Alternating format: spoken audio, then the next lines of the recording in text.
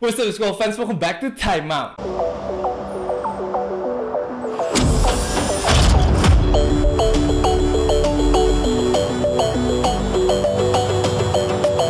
Bagi pendengar Kipadila, kita kembali lagi ke info basket harian dari edisi 13 Maret 2021. Time out geng, wah gila gue semangat banget sih untuk bikin konten hari ini karena hari ini banyak banget topik-topik menarik yang kita akan bahas di Time Out. Yang pertama, jelas kita harus membahas NBA terlebih dahulu. Game paling seru adalah Denver Nuggets nih berhasil menang tipis atas Memphis Grizzlies dengan skor 103-102.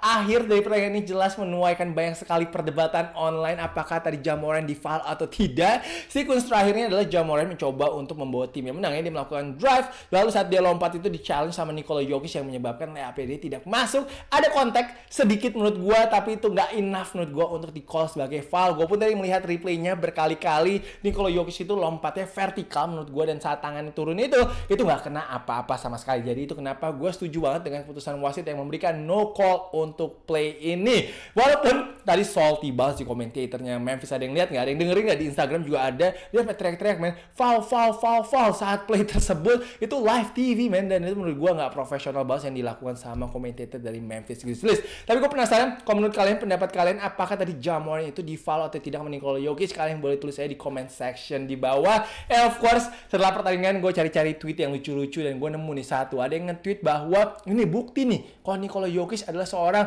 elite rim protector. Wah gila gue ngakak banget pas baca itu karena kita tahu bahwa Nikola Jokic bukanlah seorang rim protector at all. Dia jarang banget ya kayak ngeblok orang yang menurut gue ya.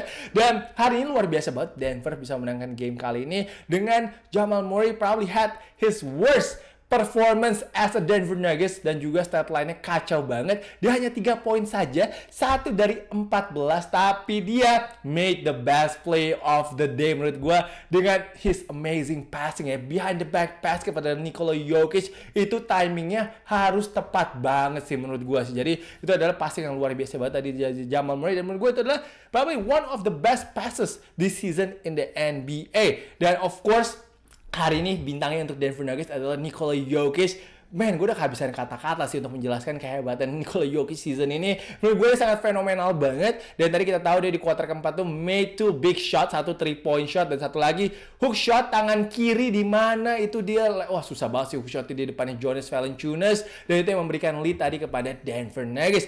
Jokic hari ini menjadi top scorer seperti biasa dengan 28 poin 15 rebound dan juga 7 assist. Uh, Will Barton dan juga MPJ lumayan solid juga hari ini untuk Denver Nuggets dengan masing-masing 21 poin. Mereka pun tadi bergantian nih di kuarter keempat ada big three point shot juga. Game ini sebenarnya seru banget back and forth apalagi tadi di kuarter keempat. Uh, Jamoran tadi sayangnya shootingnya awal-awal agak kurang bagus ya, tapi di kuarter keempat untungnya gue lihat tadi dia agresif banget uh, melakukan layup beberapa kali. Uh, Jamoran tuh kalau udah ngegas tuh udah gak ada yang bisa ngestopin sih menurut gue ya. Dan dia tuh pinter banget cara finishnya layup itu dia kayak tahu celahnya untuk defense ya gitu sih. Dan hari ini Jamoran pun selesai dengan 16 poin dan juga 9 assist. Menurut gue sayang banget sih Memphis gagal memenangkan game kali ini apalagi Jamal Murray mainnya jelek serta juga menurut gue Monte Morris tadi juga mainnya lumayan hancur sih untuk Denver Nuggets. Berikutnya kita akan ngomongin tentang Los Angeles Lakers yang berhasil mengalahkan Indiana Pacers dengan skor 105-100 fans Lakers gue yakin dibikin deg-degan dulu nih tadi di awal kuarter keempat dan pasti ada yang marah-marah yang ada yang bilang nih wah Rocky Padilla ngejinx nih Lakers kayak akan kalah nih. Karena tadi awal kuarter keempat itu Lakers down by 12 dulu tapi setelah itu it was cruise control. Yes Kyle Kuzma took over the game setelah itu di mana dia mencetak 10 poin dalam 3 menit gila sih Kyle Kuzma tiba-tiba on fire aja tadi nembak masuk terus and of course nggak hanya scoringnya dia aja dia reboundnya juga bagus banget menurut gue hari ini dan dia tuh udah mulai menikmati ya role yang diberikan sama Frank Vogel dan dia kayak pengen banget tuh jadi seorang elite rebounder sih di liga ini ya. Dan Kyle Kuzma um, menurut gue deserve all the credit untuk kemenangan Lakers hari ini. Dia pun juga double-double ya dengan 24 poin dan juga 13 rebound. Dan selain Kyle Kuzma yang deserve some credit menurut gue adalah Montrezl Harrell. Ini nggak boleh dilupakan. Menurut gue Montrezl hari ini juga mainnya bagus untuk Lakers di mana tadi Pacers itu di bawah 2 menit ya. Di bawah 2 menit itu sempat memotong ketinggalan mereka jadi 3 poin tapi untungnya di respond oleh Montrezl Harrell dengan a big 3 point play. Tapi bukan itu yang menyudahi pertandingan ini. Yang menyudahi pertandingan ini jelas adalah KCP. Yes, KCP came up with a big steal tadi saat lagi Malcolm Brogdon mau melakukan inbound pass kepada Domantas Sabonis dan itu di steal dan akhirnya dia pun yang menyelesaikan pertandingan ini dengan free throw-nya. So once again congratulations untuk para fans Los Angeles Lakers. Wah mereka berhasil kembali menang lagi ya walaupun nggak ada Anthony Davis.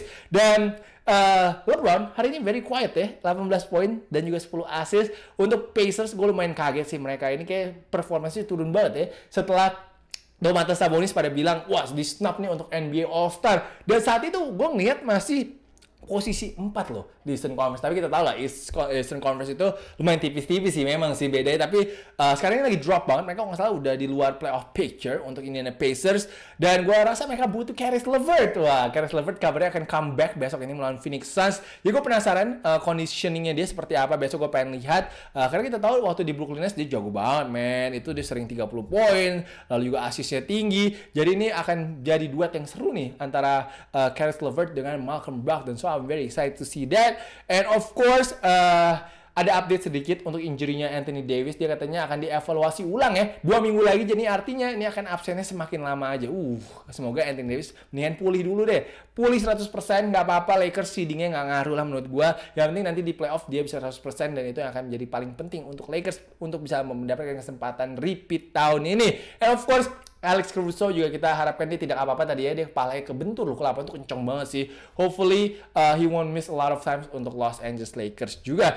Ngomongin cedera jelas kita harus membahas tentang Sixers hari ini yang berhasil mengalahkan Wizards dengan skor 127 101 para fansnya uh, Sixers gue yakin pasti pada mau ngomong lagi. Here we go again. Tadi saat Embiid mengalami cedera. Embiid serem sih awkward menurut gue jatuhnya. Dan katanya ini adalah hyper extended knee. Uh, kalau dari Sixers tadi rilisnya dan dia akan di MRI besok mungkin hasilnya akan keluar. Kita harapkan uh, tidak parah. Gue harapkan juga dia tidak akan absen lama. Karena sedih banget sih uh, Embiid tahun ini jelas leading candidate untuk memenangkan MVP dan Sixers pun lagi bagus banget ya. Lagi number one in the Eastern Conference. Kalau dia harus keluar sih wah itu akan membedakan sekali permainannya. Sixers menurut gue Sixers kok nggak ada Embiid sih beda banget sih. Uh, nggak dominan sama sekali biasanya mainnya ya. Uh, dan Ben Simmons pun akan kembali kayaknya di pertandingan berikutnya. Kita tahu kemarin kan uh, Embiid dan juga Ben Simmons itu tukang potong rambutnya. Positif ya jadi uh, itu kenapa mereka harus menjalankan protokol kesehatan. Tapi Embiid hari ini Sebelum dia keluar, dia top scorer juga loh. 23 poin dalam 20 menit. Uh, Sixers sekarang ini skornya, uh, sorry, rekornya 10-1 nih. Saat mencetak at least 2, uh, 120 poin. Dan itu dari Sixers, semoga aja Embiid tidak apa-apa ya. Kita doakan saja, karena sayang banget sih kalau dia sampai harus out lama sih. Satu game lagi yang seru adalah tadi Miami Heat nih, berhasil mengalahkan Chicago Bulls ya, dengan skor 190. Goran Dragic, awal-awal gue lihat nggak ngepoin sama sekali, terus tiba-tiba on fire di kuarter keempat dia mencetak 20 poin dari 25 poinnya di kuarter terakhir dan ini gantian dia sama Jimmy Butler. Jimmy Butler tadi tiga kuarter pertama on fire. Dia tiga kuarter pertama 25 poin dan akhirnya selesai dengan 28 poin. Game lainnya ada Pelicans, ada Spurs dan juga Utah Jazz yang berhasil memenangkan pertandingan mereka masing-masing. And of course KPJ, Kevin Porter Jr. Wah gila gue hype banget sih tentang dia. Dia hari ini pun juga 27 poin dan 8 assist bersama Houston Rockets. Houston Rockets udah terpuruk banget sih. Mereka akan cuci gudang kayak sebentar lagi dan jago ya tapi si KPJ ini ya, feel for the game-nya sih bagus banget. Walaupun tadi cuma satu dari 9 3 poinnya wah kalau nggak sih dia bisa 30 poin. Tapi gue yakin nanti very soon dia bisa mencapai 30 poin. Oke okay, kali kita akan pindah ke IBL wah IBL hari ini juga banyak game yang seru. Pertama kita akan bahas tentang Indonesia Patriots nih. Atau timnas elit muda yang berhasil mengalahkan Amarta Hang Tua dengan skor 70-60 wah tadi kuarter keempat tuh sempat seru tadi mana Steven Neno masuk 3 poin dua kali seingat gue dan setelah itu pressure-nya datang, wah timnas elit muda gue suka nih. Walaupun game pressure-nya tinggi dan hampir kalah gitu skornya, tapi dia tenang banget bisa eksekusi game plan-nya. Di mana Aldi Izatur menyelamatkan timnas elit muda dengan back-to-back three point shot tadi di kuarter keempat, lalu juga Kelvin Sunjaya di kuarter keempat juga melakukan slam dunk untuk memastikan kemenangan Indonesia Patriots. Gue benar-benar kaget, shock banget Indonesia Patriots 3-0 rekornya di awal uh, season ini. Wow, Kira-kira siapa nih bisa mengalahkan timnas elit muda nih? Apakah Prawira besok bisa mengalahkan uh, timnas elit muda? Kayaknya sih bisa kalah sih kayak besok sih. Wah, ini luar biasa sih. Gue shock jujur aja. Tapi gue respect banget dengan pemain-pemain muda ini yang sangat hustle sekali dan juga mereka bekerja keras ya untuk bisa memenangkan pertandingan mereka melawan tiga tim uh, tiga pertandingan pertama mereka dan Hari ini top skornya ada Kelvin Sinjaya dengan 17 poin dan juga 10 rebound. Jadi double-double untuk Kelvin. Aldi juga 16 poin. Nah, yang gue paling bingung adalah Dame. Dame ini hanya kenapa hanya main satu babak aja. Padahal di babak pertama menurut gue lumayan bagus. Dia sempat 9 poin ya di babak pertama. Dan highlightsnya nanti kalian akan lihat di top place di mana ada slam dunk dari Ali Bagir dan juga ada dari Calvin Senjaya. Wah tadi Bagir sih menurut gue yang dari baseline sih ngedunknya keren banget. Dia mungkin penasaran untuk main kan dia mau coba tip jam ya kayak nggak masuk ya dua tangan itu. Jadi ini kali ini dia kesampaian nih untuk melakukan slam dunk. Nah tadi Dede injured, gue belum tahu update-nya seperti apa. Semoga ya Dede nggak akan lama absennya karena kita tahu Dede juga mainnya lagi bagus nih Hendrik ya. Jadi gue harapkan dia akan uh, kembali bermain besok. Tapi kalau feeling gue sih kayak dia akan di rolling besok sama Coach Yobel sih. Oke okay, dari Hang Tua ada Eve dengan 15 poin. Eve kembali bermain bagus ya. Dan juga ada Safely yang cetak 10 poin. Nah, untuk Hang Tua uh, bad start banget. 0-3 uh, menurut gue dia tuh kebanyakan settle untuk shooting ya. Gue harapkan game ke depannya dia bisa lebih agresif. Tadi Oki Wira pun juga wah sayang banget berkali-kali sampai netizen pada marah semua tadi. Gara-gara Oki Wira nembak mulu dan gak ada yang masuk tadi. Gue lihat di IBL chat tuh udah hancur banget pada marah-marah semua sama Oki Wira. Dan juga Gue harapkan Abraham Moenas akan lebih agresif dan juga finishingnya lebih bagus untuk layupnya. Serta juga pemain-pemain guardnya mereka kayak Safely gitu bisa loh ngedrive juga menurut gue. Jadi gue harapkan ke depannya Amarta Hang Tua ini tidak akan settle dengan 3 poinnya. Karena hari ini 3 poinnya hanya 8 dari 32. Itu dari pertanyaan pertama. Pertanyaan kedua, best game. Ini gue nggak expect sama sekali. NSA Mountain Gold Timika berhasil mengalahkan West Bandit dengan skor 76-72. What a comeback sih ini dari NSA ya. Gamenya seru banget dan West Bandit sih choke banget di akhir-akhir pertandingan. Ini mereka sempat unggul 12 poin loh. 12 poin mereka unggul di sisa tiga setengah menit setelah Widi melakukan poin dan setelah itu wah turnover banyak banget untuk West Bandit. Gue nggak tahu apa yang terjadi tiba-tiba uh, mereka ke steal melulu di mana Dimulai dari 3 poinnya Anwar, ini nomor 3 ya jersinya dia 3 point. Anwar ini lumayan solid uh, mainnya hari ini menurut gua anak ini anak bagus juga sih. Dan juga uh, tiba-tiba uh, ada steal dari Rizky, wah that was a big steal. Lalu juga ada steal dari B-Boy.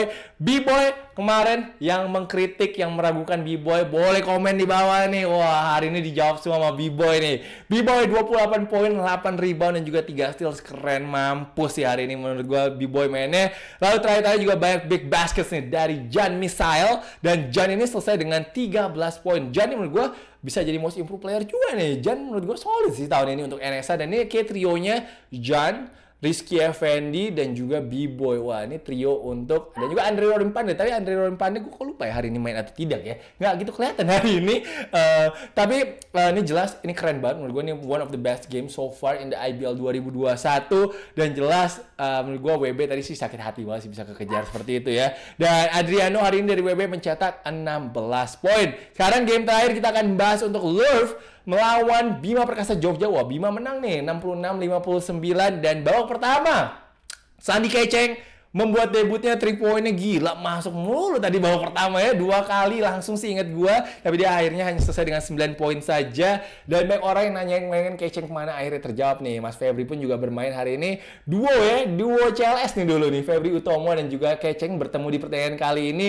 Tapi gua salut banget sama coach David Singleton yang menurut gua strategi dia untuk menjaga Jamar sih luar biasa banget ya Jamar tadi memang kontak lensnya sempet uh, lepas kayaknya dia harus ganti kontak lens dulu. Tapi dia tadi scoreless loh di babak pertama, uh, babak kedua pun dia juga masih struggling banget untuk nembaknya. Gue suka banget tadi saat uh, Mas Febri yang jaga. Menurut gue Mas Febri played a really good defense on Jamar Johnson lalu juga beberapa pemain lainnya.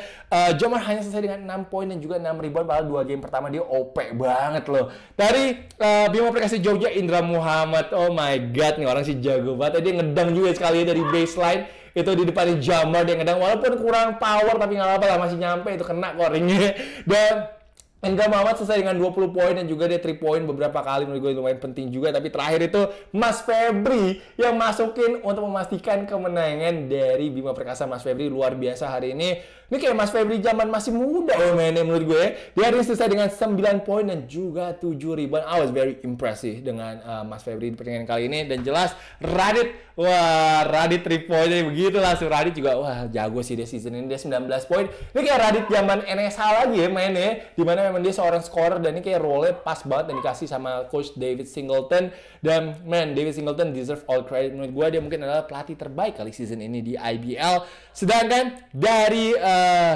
dari siapa dari dari Louvre sorry. Uh, dari Louvre Surabaya ada Leo yang mencetak 13 poin. Namanya Leo kan bener ya? Leonardo Effendi dia mencetak 13 poin dan juga 7 rebound. Serta juga ada Kevin Moses yang mencetak 10 poin untuk Louvre Surabaya. Ini juga merupakan kekalahan pertamanya Louvre ya tapi Louvre tenang aja lah. Ke depannya pasti bisa menang lagi nanti. Oke sekarang kita berikutnya akan membahas tentang Kate Cunningham. Kate Cunningham berhasil membawa Oklahoma State University upset number 2 Baylor dengan skor 83-74 Kate tampil luar biasa sekali. Dia adalah salah satu calon number one pick di NBA tahun depan ini. Dia selesai dengan 25 poin, 8 rebound, dan juga 5 assist. Dan sekarang ini Oklahoma State University lolos ke final untuk Big 12. Kalau salah akan ketemu Texas kali ya. Kalau nggak salah, gue nggak ketemu artikelnya. Tapi pasti itu adalah berita-berita hari ini dari basket. Sekarang kita akan pindah ke prediksi. Prediksi not bad hari ini akhirnya 2-1. Di mana hanya Denver saja yang kalah. Uh, Lakers benar. Dan juga satu lagi Miami ya benar. Besok ada 8 game di NBA. Wow, pertama gue memilih Detroit Pistons. Wah, Detroit Pistons plus 11 tengah melawan Brooklyn Nets. Kita tahu Detroit kayak kalau lawan tim jago biasanya bisa menang tuh. Jadi gue akan megang Detroit besok ini. Lalu ada Milwaukee gue nggak panjang lebar lah. Wizard lagi ancur-ancuran sekarang ini gue nggak tahu kenapa. Tiba-tiba mainnya jelek banget. Jadi besok Milwaukee minus 10 setengah yang kedua dan yang terakhir ada Phoenix nih. Kita tahu Indiana juga lagi ancur-ancuran nih. Jadi gue milih Phoenix minus 6 setengah. Itu adalah tiga pilihan prediksi gue besok untuk IBL gue belum lihat jadwalnya itu kenapa gue nggak bisa kasih prediksi tapi pasti game pertama besok ya. Kalau itu adalah Prawira Bandung melawan uh, timnas elit muda itu akan seru jadi jangan lupa untuk untuk uh, jangan lupa untuk nonton pertandingan tersebut. Uh, top shoes hari ini BR Kicks dan juga NBA Kicks nggak ada yang ngepost sama sekali, jadi gue tidak bisa memberikan foto sepatu sama sekali. Top play sekarang kita akan masuk. Kita mulai dengan Canyon Martin Jr. with the big block on the Stifle Tower. Wah ini dapat medicine dia nih. Lalu juga teammate-nya KPJ. Gila nih layupnya susah banget sih di depannya Derek Favors. Dan tadi sebelum Joel Embiid cedera, dia melakukan slam dunk dulu di depannya Mo Wagner dan juga Russell Westbrook. Nah, ini kali ini kita langsung lihat dunk dari uh, Bagir yang pertama nih di dunk lewat baseline tadi.